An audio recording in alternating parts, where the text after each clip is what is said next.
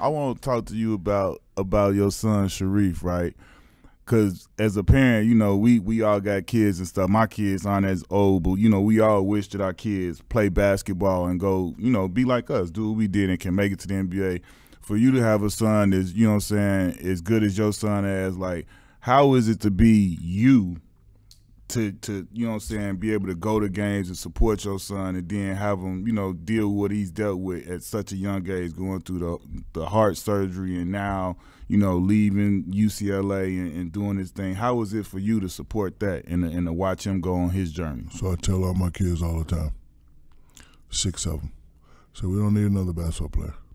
I like to have a surgeon um, businesswoman the next Oprah Yeah.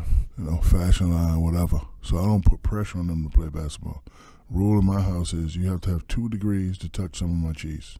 So I don't put pressure on. Oh. them. So when I was I raising, like that so when I was raising, say that my- again for the people in the back you gotta have two degree, two degrees to touch some of my cheese.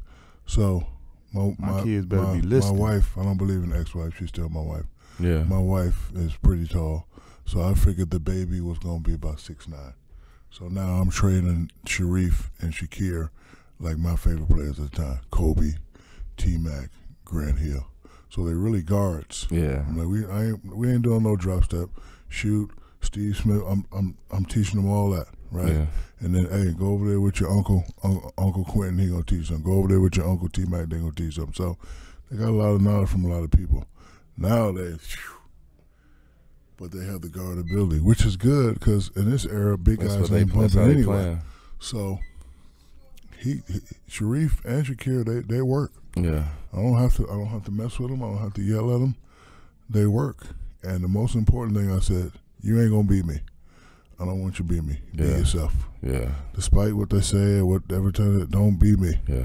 Because this is a true story. I had 45 one time in high school, three quarters left.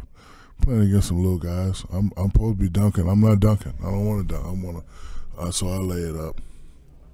Finger roll and miss. My dad walked on the court and the drill sergeant.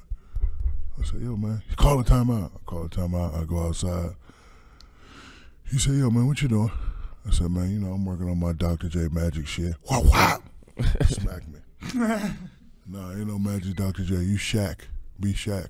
And that's when, and that's why every time I dunk, I try to rip the rim off because it was because I was mad at him. like Yeah. you did Yeah, though, like I several did. times So, so when I dunk, when I start dunking like that, and everybody start doing that, I was like, oh, we have something here. Boom, boom, boom. They don't like that. They don't like when I bump.